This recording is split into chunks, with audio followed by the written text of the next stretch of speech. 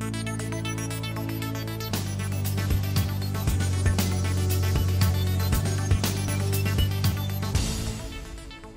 Nagyon szeretettel köszöntjük a mai helyzet nézőit, itt a stúdióban pedig Major Veronikát és Inka Lászlót. Gyakorlatilag most már kezdenek hozzászokni a mi nézőink is, hogy sportlövő sikerekről beszélgetünk. Ugye Pén István nem rég járt nálunk, aki ugye szintén olimpiai kvótát szerzett, egy nappal korábban, mint te, hogyha jól tévedek? Néhány órával csak. Na tessék, bocsánat. Szóval nagyon szoros volt ilyen szempontból is a verseny, és ez is mutatja, hogy azt hiszem, hogy pláne így ennyivel az olimpia előtt nagyon jól állnak a lövőink. Ti hogy vagytok ezzel?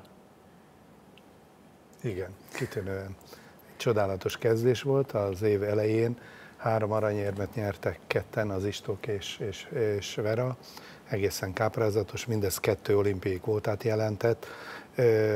És még ezt hozzá kell tenni, hogy a paralimpiára Dávid Krisztina is kijutott már sportlövőként, úgyhogy nagy az öröm az egész csapatban ilyen jellegű versengés volt köztetek, ki szerez korábban kvótát, bár gondolom azért inkább ez arról szól, hogy ti is szurkoltak a másiknak, hogy meglegyen és ott legyenek az olimpián. Persze, mi is szurkolunk a másiknak, ez is bizonyítja azt, hogy én a saját döntőm előtt Péni István döntőjét néztem, és kicsit felkészülés gyanánt is vettem az egészet, és nagyon örülök, hogy sikerült végignéznem az egészet, és nagyon jól versenyzett ő is, és talán ebből egy kis energiát is merítettem, hogyha neki sikerült, akkor talán uh-huh. nekem is sikerülhet.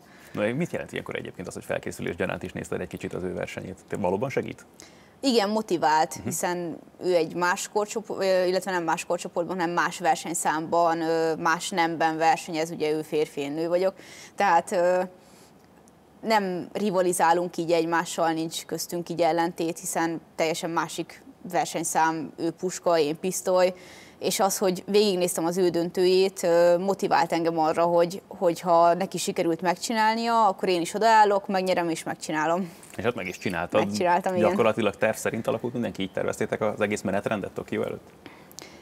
Nem volt bennem ilyen ö, konkrét terv, hiszen én úgy utaztam ki Delhibe a világkupára, hogy a lehető legjobban szeretnék teljesíteni. Nem gondoltam, hogy az első versenyszámban már sikerült döntőbe jutnom. Úgy gondoltam, hogy a légpisztoly az én erősebb versenyszámom, de végül a ugye, sportpisztolyjal jutottam elsőként döntőbe, ugye az kicsit előbb volt, mint a légpisztoly, és döntő előtt egy, egy olyan felkészült lelkiállapot, lelkiállapotba tudtam magam helyezni, hogy elhatároztam, hogy döntőben vagyok, akkor elmegyek a végéig, megnyerem a versenyt, megszerzem a kvótát ahogyan az kell.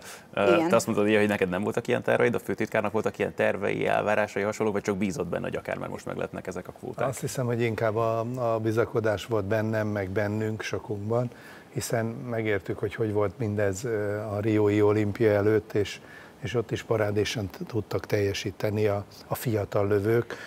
Róluk azért azt tudni kell, hogy 21, illetve 22 évesek az idén, tehát egészen, egészen fiatalok ebben a, a, a versenyrendszerben, ha ezt lehet mondani. A másik oldalon pedig nagyon fontos, hogy nagyon sok tapasztalat van mögöttük. Egyrészt a, a kormányzati támogatásnak köszönhetően edzésben, versenyeken való részvételben, a körülmények biztosításában nincs kérdés. Meg tudjuk oldani, gond és probléma nélkül, de ennél ennek egy másik része viszont az, amit ők tesznek bele energiába, ami érdekes dolog soha nem látható, hiszen azért a sportlövészet nem a publikum előtt zajlik nagyon, meg a hallatlan sok edzésmunka, az a, különösen nekem, aki viszonylag labdás ember a maga módján, eh, egészen más, mint amit az ember megszokott évtizedeken keresztül, hogy hogy készülnek, mennyit edzenek, és hát mennyit rakkolnak azért, hogy majd akkor, amikor eljön az a, az, az idő, akkor ott a lehető legjobbat teljesítsék. És akkor innen kezdve neked a további tervek, hogy néznek ki Tokiót megelőző? Mert gondolom innen kezdve akkor abszolút az Karika hosszú távon a célkeresztben. Természetesen az olimpiáig még szeretnék a lehető legtöbb ö, nagy világversenyen részt venni. Ö, nem sokára majd ö, áprilisban utazok Pekingbe a következő világkupára, illetve még utána is ö, lesznek még hasonló versenyek, Münchenben lesz az utána lévő világkupa, aztán Európa játékok, és ott is lehető legjobban szeretnék szerepelni, és ezeket a versenyeket szeretném a, a felkészülésre felhasználni. És hát várnak további versenyek ugye a többiekre is, sőt ugye légfegyveres Európa bajnokság következik. Ugye arról is van szó, hogy Magyarországra is jönnek események, nem csak konkrét sportesemények, hanem például kongresszus is, szóval ilyen szempontból is jól állunk. Hát igen, az a dolgunk, hogy minél több világversenyt hozzunk haza Magyarországra. Azt hiszem, hogy ez minden sportági szakszövetségnek egyrészt az álma, másrészt a, a feladata is, nem nem egyszerű, de érdemes ebben rengeteg energiát fektetni. Az idén rendezünk egy futó céllövő Európa-bajnokságot, amely a korábbi versenyszáma Verának, és ráadásul ott, ahol ő gyakorlatilag tanult, alkotott és nevelkedett, ez a verseny genezsiásan lesz. Igen, rendezünk egy európai szövetségi kongresszust októberben, és ezzel párhuzamosan pedig az első ifjúsági Európa bajnokságot Budapesten a Nemzeti Lőtéren fogjuk rendezni, éppen azért, és valószínűleg azért kaptuk meg, mert, mert mi kezdeményeztük, hogy ez a korosztály is egy ebben a kategóriában tudjon versenyezni, és hát természetesen, ahogy Vera is említette, még hátra vannak világkupák, eszék Európa bajnokság, Európa játékok, úgyhogy az egész év csurig van nagy versenyekkel. És Inka László is tett már utalás, hogy azért a kedves nézők is alig, hanem inkább egy olyan sportágul ismerik, ahol kézzel szoktak lőni, de azért most már jó néhány éve dolgozik ugye a sportlövők főtitkáraként.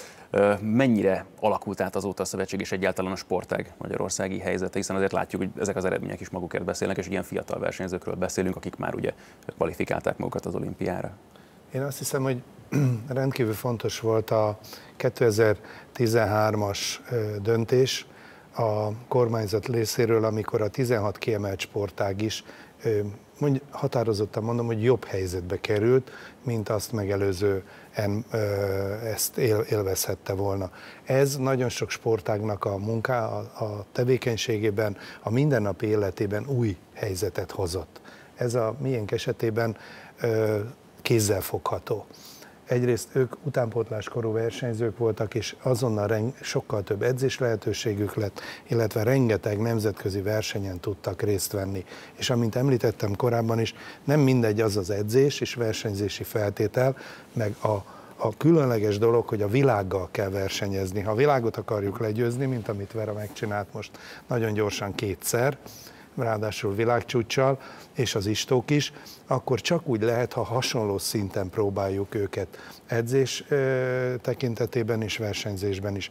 Ez egy sikeres időszak, feltétlenül utánpótlás korosztályban is ők már korábban rengetegszer bizonyítottak, azaz megérte sokat foglalkozni velük az edzőiknek és a válogatott edzőknek. Én azt gondolom, hogy nekik meg megértem, mert káprázatos eredményeket értek el eddig, és én azt ismerem mondani, hogy még nincs vége bocsánat, erről a bizonyos világcsúcsról ugye nem is beszéltünk, amiben már csak az is nagyon érdekes, hogy ha jól tudom, te ugye a verseny közben nem is vetted észre, hogy világcsúcsot lőttél, csak a verseny után derült ki a számodra is. Hát nem vettem észre, őszintén Nyilván mondom, nem ezzel foglalkozik az ember. Nem is tudtam, hogy mennyi előtte a, a világcsúcs, és uh, amikor vége lett a versenynek, verseny közben még egy kicsit azon gondolkodtam, amikor én már csak álltam, mert a második, harmadik helyért szét kellett lőni, és három sorozaton keresztül ö, lőtt szét a másik két ö, versenyző, és nekem akkor ugye nincsen dolgom, én nem lőhetek közben.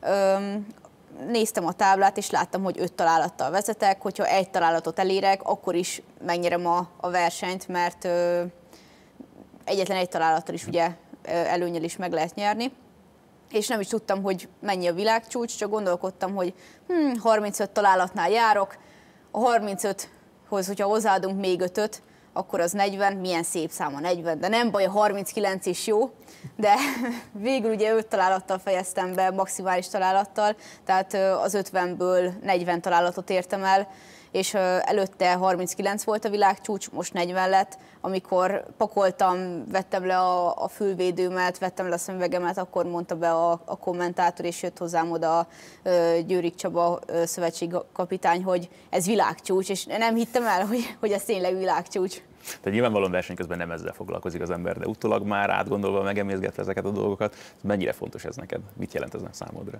Nagyon fontos, és nagyon sokat jelent, hiszen nekem nem az erősségem volt eddig a sportpisztoly. Nagyon Hát nagyon kevés versenyen voltam eddig, nagyon kevés nemzetközi versenyen voltam sportpisztolyjal, mert nemrég kezdtem el lőni, talán kettő éve lövök sportpisztolyjal, előtte talán öt éve kezdtem el a, a légpisztolyos lövészetet. Előtte ugye én futó céllövő voltam, és még most is az vagyok. Tehát ö, egyáltalán nem számítottam arra, hogy sportpisztolyal fogok kvótát szerezni. Inkább úgy voltam vele, hogy a légpisztoly az én erősebb versenyszámom, de a sportpisztoly most belőzött.